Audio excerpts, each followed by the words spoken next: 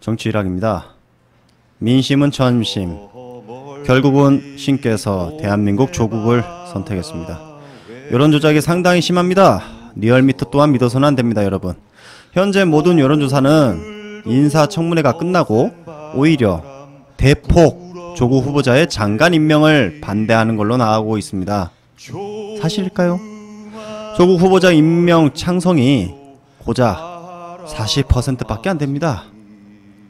이걸 믿으라고 조사한 겁니까? 한국갤럽, 리얼미터 뭡니까 이게?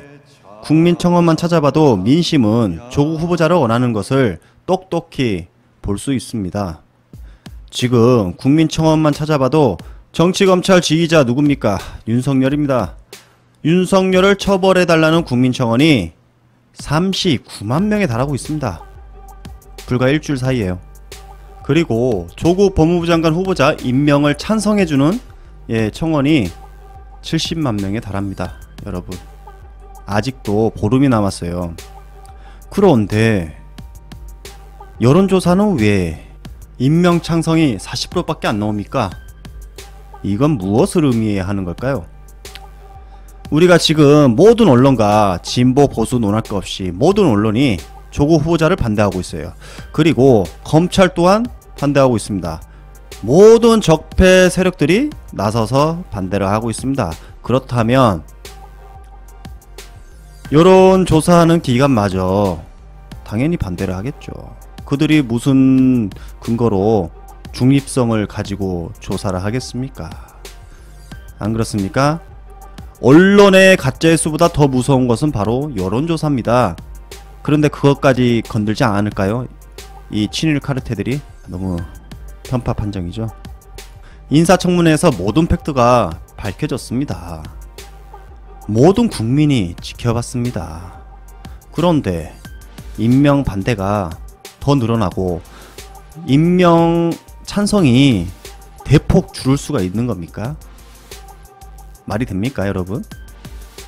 최근 리얼미터의 방송을 보니까 한결의 방송에 나오셔가지고 그 여론조사에 대한 설명을 하는 부분이 있어요. 예전에는 김호준 뉴스공장에도 잘 나오셨던 분이 나오질 않고요. 한겨레 TV와 정속 계약을 맺은 것도 아닌데 한겨레 TV에 나가서 여론조사에 대한 이야기를 합니다. 이거 무엇을 의미할까요? 여기 보이시는 사진은 바로 조선일보에서 한걸레에 조작을 한다. 한걸레가 조작을 한다라고 사설을 썼습니다. 제가 이걸 보고 야 이거 짜고 치는 고스톱이구나 라는 생각을 지금 하고 있습니다. 여러분 만약 예 만약 이 조사가 사실이라면 가정을 해봅니다. 그렇다면 이제 정치 검찰의 어, 정경심 교수의 기소 사건 그 사건이 제일 클 것 같아요. 조국 후보자 부인을 예, 불구속 기소한 사건이 있었죠, 여러분. 그게 여론에 반영이 됐다. 이렇게 봅니다.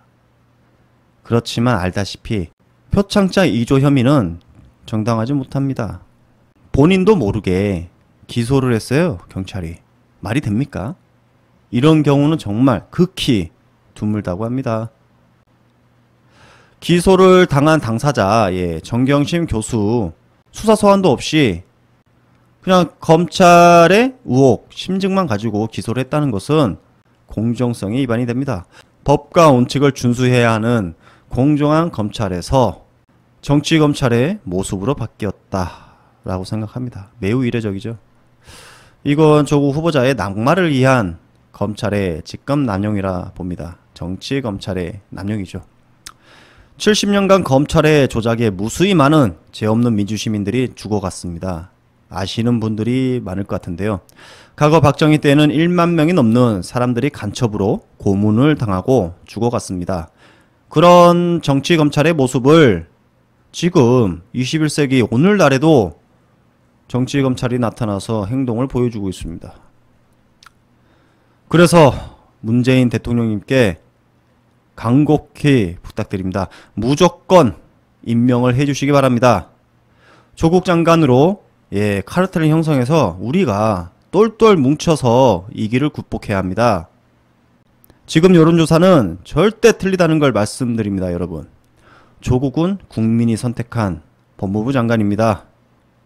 민심은 천심, 백성의 마음이 하늘의 마음입니다. 이상입니다.